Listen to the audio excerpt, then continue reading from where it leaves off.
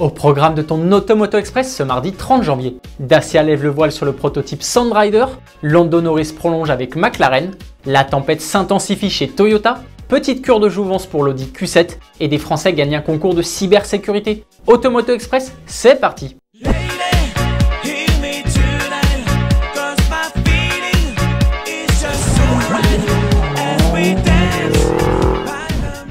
Dacia dévoile son prototype pour le Dakar. Le constructeur roumain nous avait conviés ce matin en région parisienne pour découvrir Sandrider, l'arme que Dacia engagera en championnat du monde de rallye raid et surtout au Dakar dès 2025.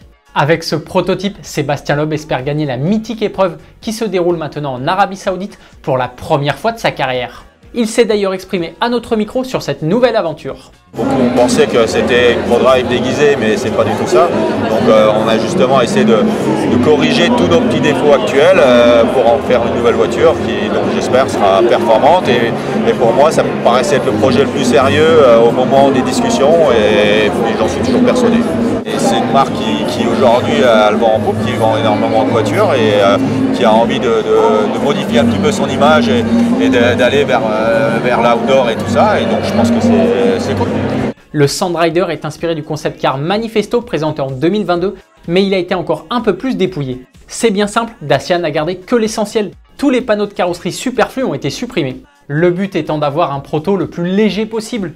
Toujours dans cette optique, la firme a opté, en accord avec l'équipe ProDrive qui gère le développement du buggy, pour un châssis tubulaire plus léger et un moteur plus compact. Le Sandrider sera animé par un V6 biturbo de 360 chevaux couplé à une boîte séquentielle. Grâce à ses pneus de 37 pouces et son système de suspension à double triangulation, il doit pouvoir passer partout. Christina Gutiérrez, Sébastien Loeb et Nasser Alatia effectueront leur première course au volant du proto lors du Rallye du Maroc en octobre. Si tu veux en savoir plus sur le Sandrider, il suffit de regarder Automoto dimanche matin à 10h05. C'est forcément le sujet de la question du jour. Comment trouves-tu le Dacia Sandrider et penses-tu qu'il pourra s'imposer au Dakar dès 2025 Dis-nous tout dans les commentaires.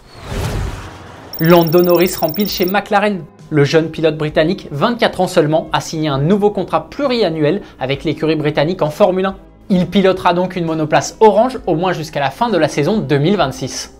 Lors de la saison 2024, qui commencera début mars lors du Grand Prix de Bahreïn, il veut décrocher sa première victoire en carrière. Depuis ses débuts en Formule 1 en 2019, Lando Norris compte une pole position et 13 podiums.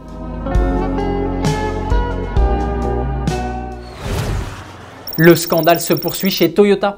Après avoir reconnu de nombreux trucages sur la sécurité lors de l'homologation des véhicules Daihatsu au Japon, la maison mère Toyota est à nouveau au cœur du scandale.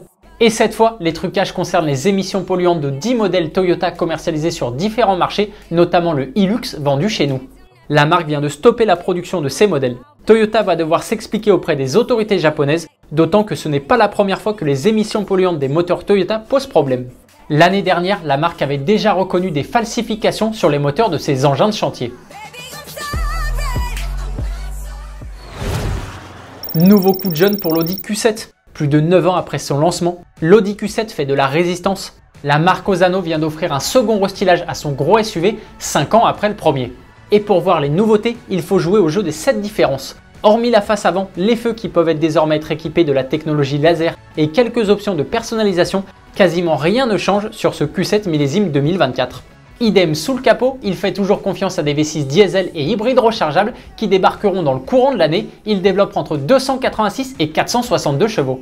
De son côté, la version sportive SQ7 reste fidèle à son V8 biturbo de 507 chevaux qui lui permet d'abattre le 0 à 100 km/h en 4 secondes 1. L'Audi Q7 restylé est disponible à la commande à partir de 89 500 euros. Les Tesla sujettent aux cyberattaques? Oui et non. L'équipe de cybersécurité française Synactive vient de remporter une compétition de piratage, le Pwn to One, dédié aux véhicules connectés.